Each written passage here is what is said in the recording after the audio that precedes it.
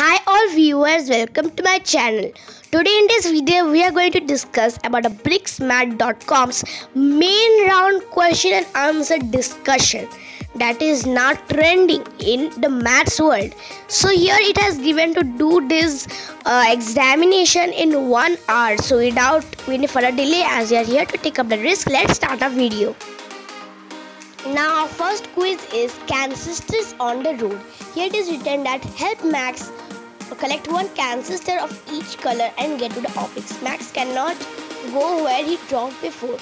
So here what we have to do is we have to take any one of them with each color. Uh, so we have to take but first the blue, then you have to take the green and the orange without any repetition. So here we have done it. Now let's go to the real task. This is the actual task.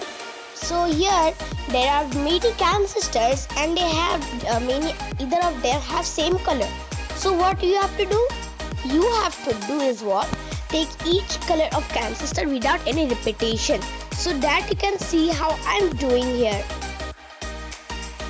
So first we are going to take the up, then take the blue, then go ahead by taking the green, pink, go below, yellow and orange.